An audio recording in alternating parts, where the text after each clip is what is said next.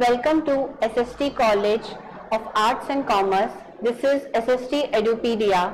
Myself, Assistant Professor Ashwati Prashant and today we are going to talk about the topic biomolecule of class 12th. In the previous session, in part 1, we have already discussed about the uh, biomolecules, its type and few examples. Now, today we are going to see something more about the biomolecules.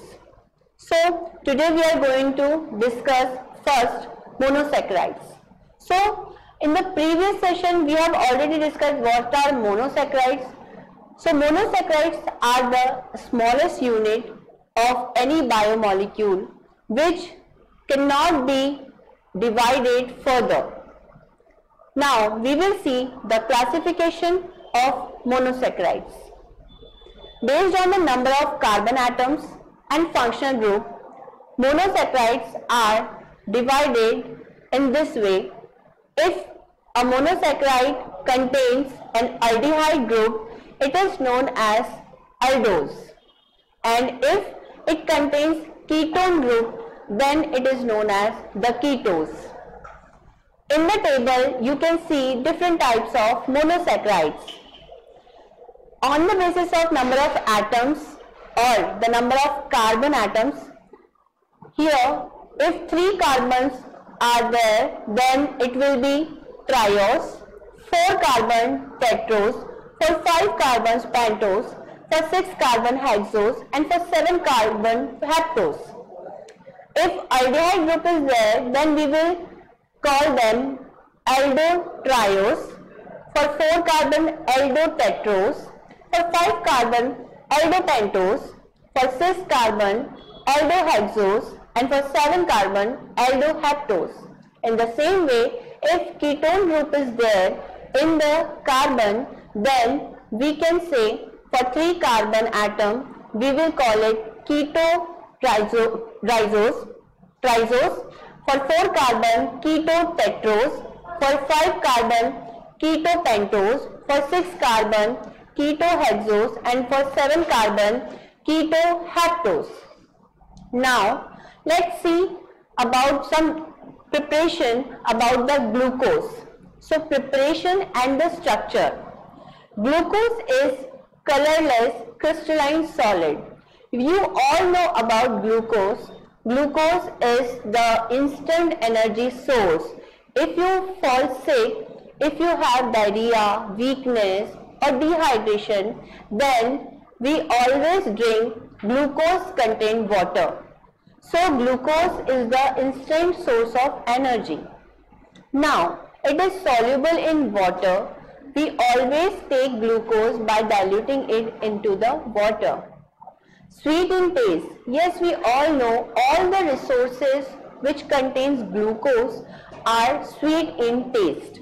You can see the structure here. It is 6 carbon open chain structure where aldehyde group is there at the top CHO and having 5 hydroxy group in each carbon atom. Preparation of glucose.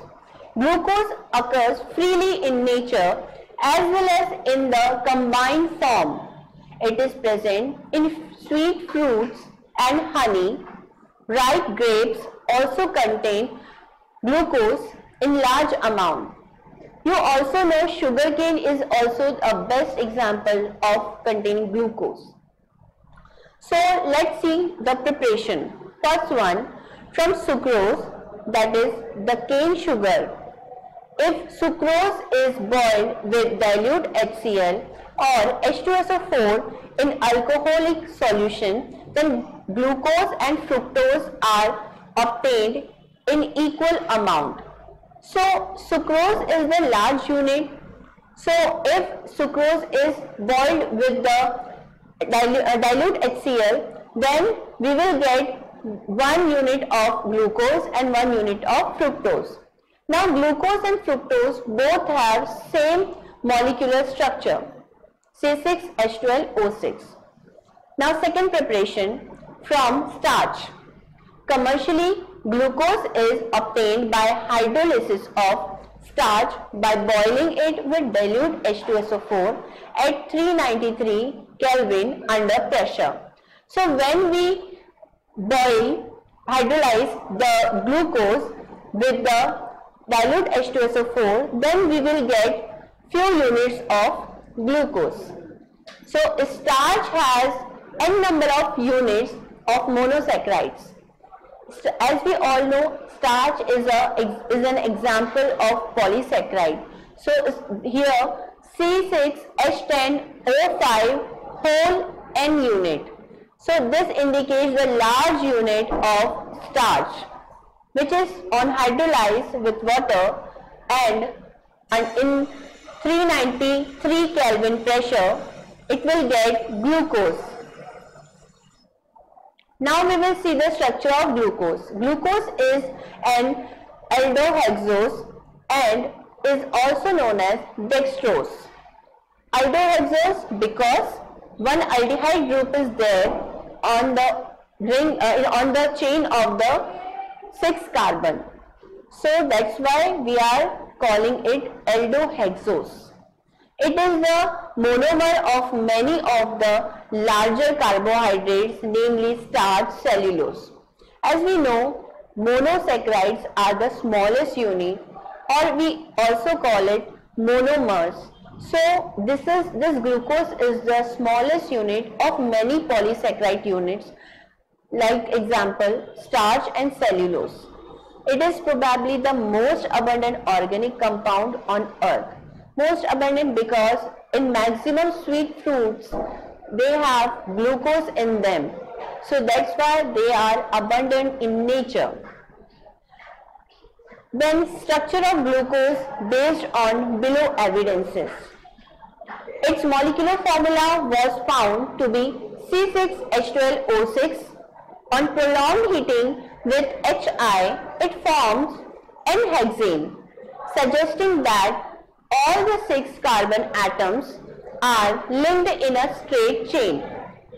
As in the evidences like when we heat it with the HI, it gives N-hexane. Also, it has six carbon atom chain, straight chain. That's why this evidence is giving the proof of glucose, the structure of glucose. Glucose reacts with hydro hydroxylamine to form an oxime and adds a molecule of hydrogen cyanide to give cyanohydrine. These reactions confirm the presence of a carbonyl group in glucose. On reacting, on treating with the hydroxylamine, hydroxylamine means when amine group containing hydroxy group then it is forming the hydroxyl amine. Also the oxime forms oxime again containing hydroxy group with the amine group amine CH double bond N OH also CHOH whole 4 and CH3OH. This is oxime. When oxime treated with the cyanide group then it gives cyanohydrine. Cyanohydrine.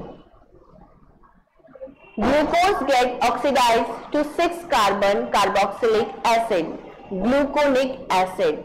On reaction with a mild oxidizing agent like bromine water, this indicates that the carbonyl group is present as an uh, group.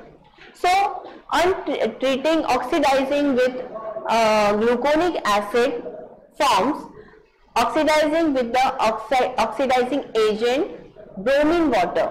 So it is forming the gluconic acid which again there is a presence of carbonyl group and which again evident of the presence of glucose structure. On oxidation with nitric acid glucose as well as gluconic acid both yield a dicarboxylic acid. So on the oxidation with nitric acid again glucose or gluconic acid yields dicarboxylic acid. Carboxylic acid again giving the proof of saccharic acid. This indicates the presence of primary alcoholic group in the glucose. So these were the few evidences which confirms the mo molecular structure or the structural formula of glucose. Cyclic structure of glucose. Now, glucose are also present in the cyclic structure or closed chain structure. Glucose is found to exist in two different crystalline forms which are named as alpha and beta. The alpha form of glucose is obtained by crystallization from concentrated solution of glucose at 303 Kelvin. So on crystallization of glucose, the concentration, concentrated solution of glucose, we will get the alpha form. And while the beta form, it is obtained by the crystallization from hot and saturated aqueous solution at 371 Kelvin. So you can see here the structure, ring structure of glucose, both alpha and beta. Now structure of fructose. Now we have seen already that glucose and fructose both have same molecular formula that is C6H12O6. So fructose exists in two cyclic form. You can see here two types of cyclic form is given here. Here fructose again shows the presence of keto group that is C double bond O group is attached between two carbons CH2OH and C again CHOH. So these are the differences between the glucose and fructose structure as we have seen in glucose aldehyde group was present and in the fructose now we have seen the keto group is present. Now let's talk about the disaccharides glucosidic linkage. Now what are the glucosidic linkage? We will see. The two monosaccharides are joined together by an oxide linkage formed by the loss of a water molecule. Such a linkage between two monosaccharide units through oxygen atom is called glycosidic linkage. As we know that in disaccharides, two monomer units or monosaccharides are combined together but how they will combine? They will combine by the loss of one water molecule.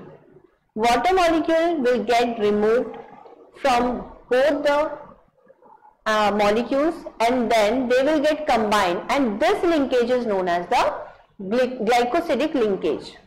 For example, two monosaccharides are held together by a glycosidic linkage between C1 of alpha glucose and C4 of alpha glucose. So you can see C1 and C4 both carbon atoms are linking together and losing one water molecule. Again we can see the glycosidic linkage example. So the two monosaccharide units are joining together by the oxidized linkage. We have already seen that here the loss of water molecule is taking place and oxide linkage is getting formed. So sucrose again showing the glycosidic linkage one the, of the common disaccharide is sucrose. So which on hydrolysis gives equimolar mixture of dextro plus glucose and dextro negative fructose.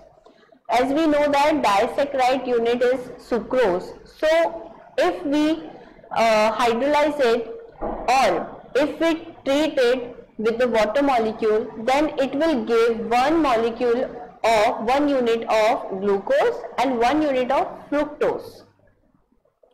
Now let's talk about the polysaccharide. This one is the last type of the saccharides. So what are the polysaccharides? As the name suggests, poly means many, saccharides means units or monomers. Polysaccharides contains a large number of monosaccharides units joined together by glycosidic linkage. Polysaccharides are the most commonly encountered carbohydrates in nature. They mainly act as the food storage or structural material.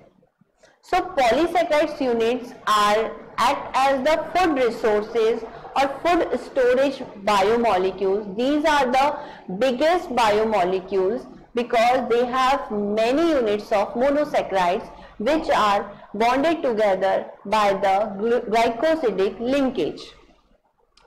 So we will see few examples like starch. Starch is the main storage polysaccharide of plant. It is the most important dietary source of, for human being. High content of starch is found in cereals, roots, tubers and some vegetables. It is a polymer of alpha glucose consists of two components, amylose and amylopectin. So here in polysaccharide starch is the main polysaccharide which is the storage polysaccharide of plant and there are many resources from which we can get this starch as a food material.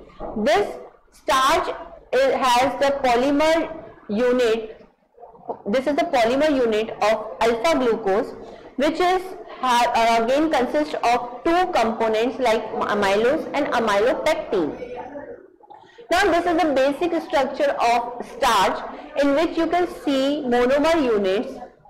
Number of monomers units are attached with one another through glycosidic bond here and this is showing the polysaccharides units.